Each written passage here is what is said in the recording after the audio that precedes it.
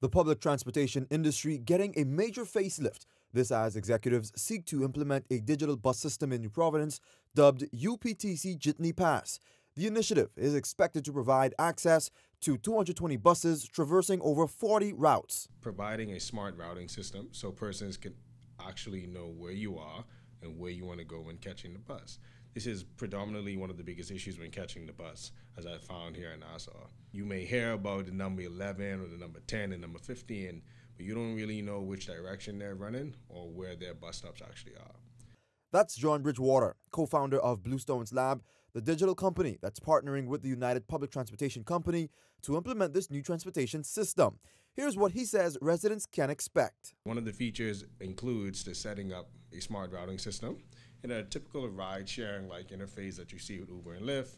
Where you are, where you want to go, shows you the bus in real time, shows you the movement of the bus approaching your bus stop, shows you where the next bus stop is. It actually shows you the ETA of that bus, so you know it's 15 minutes that the bus is going to take to get to you, 10 minutes if it's going to take to get to you if traffic's congested, who the bus driver is, its star rating, and multiple methods of payments.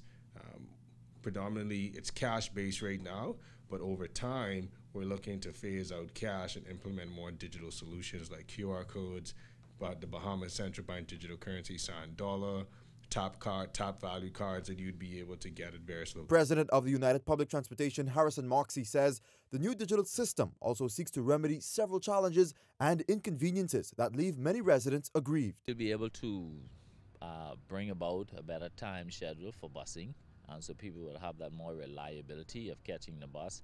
Uh, this would help to mitigate against the long waits uh, through a scheduled system for busing, and so you would be able to know and also track the buses.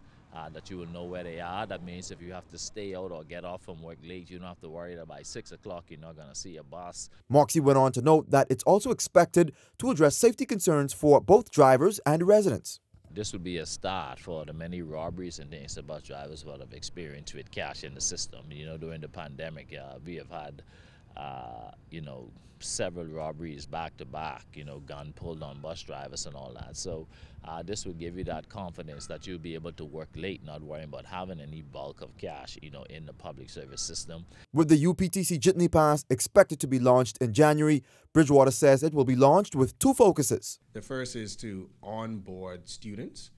And as we onboard those students that actually catch the bus, we'll be able to provide that safety feature of at least an attendance system within the bus in its first phase.